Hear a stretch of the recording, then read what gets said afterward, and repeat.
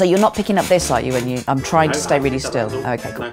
No. I'll just keep doing it. What? Yeah, now you're gonna start doing it. Like. Shit! That's intense. who am I? Oh, oh, I'm freaking out now. I am. No, I am. I know who I am. I am Caitlin Moran, author. I am the author of, let me see if I can test my memory here, The Chronicles of Narmo, 1991, How to Be a Woman, 2011, Moranthology, 2012, How to Build a Girl, 2013, Moranifesto, 2014, How to Be Famous. Oh no, I've missed out some years. Anyway, I've written a lot, and the new one's How to Be Famous. That's the important thing. I am primarily known for making it slightly easier for women to say the word vagina. I, having normalised use of the word vagina, I'd like to move on to use of the word bumhole maybe. I mean, I've got very, very small ambitions. I just like saying dirty words and pretending it's a political movement. If you only read one chapter from How to Be Famous, I would recommend the penultimate chapter, which is just straight out pornography. I wrote it because I don't think there are enough cheerful, funny, lovely, sexy uh, depictions of sex, particularly for young women to read. I think generally young women tend to learn about pornography by having a horrible boy on a bus go, oh, look at this, and showing them something horrible from the internet.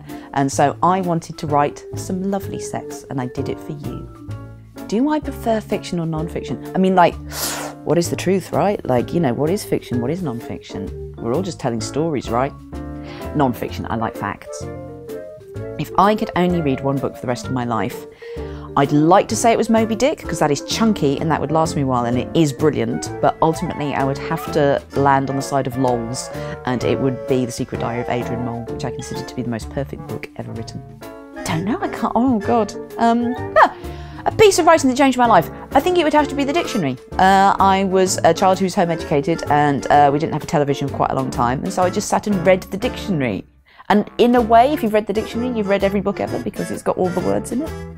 The best piece of advice I've ever been given, other than Courtney Love screaming, Don't cheese at me, was uh, my friend Matt, who, when I was 16 and just starting to leave the house for the first time and go to nightclubs and hang out with grown ups and have a job as a writer, sat me down and went, I'm going to tell you the most important information you're ever going to have in your life. Don't be a dick.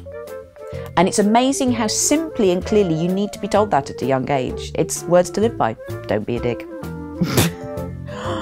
oh, the worst piece of advice I've ever been given was a hairdresser on the Holloway Road in 2003 who said to me, You have exactly the right shape to have a sharp black bob like that of the band The Corrs. I did not have the right shape face for a sharp black bob like one of The Corrs.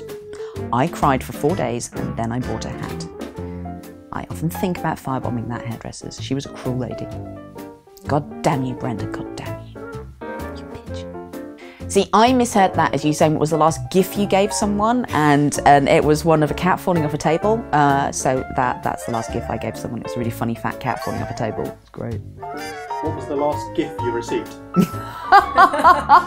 The last gif I received was of the classic one of Kermit typing, going, which is basically me every day. That is my job. Kermit on the typewriter, but with bigger hair.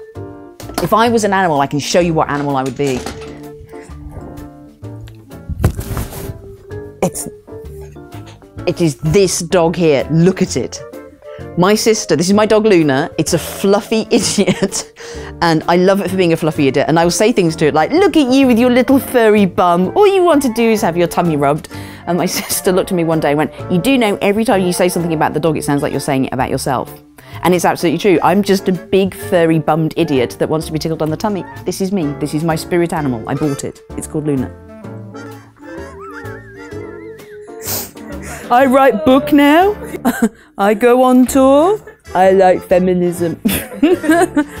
My teenage years are more than 100% reflected in the character of Johanna Morrigan. That is, we have to pretend it's fiction, but these are these are basically my diaries uh, that I've turned into novels. Uh, basically, anybody who isn't literally bending over and going, "Take my vote to the patriarchy." If you vote, if you want to have a job, if you want to keep your own money, if you believe that being raped when you're married it should be, it is a crime. If you want to have custody of your children, if you want an education, if you want to be free, if you want to live your life as you wish. You are a feminist. You have lived a feminist life, and you've only been able to do that because other people who call themselves feminists came before you and fought for that right. Love your feminist aunts and grandmothers. They made your life amazing.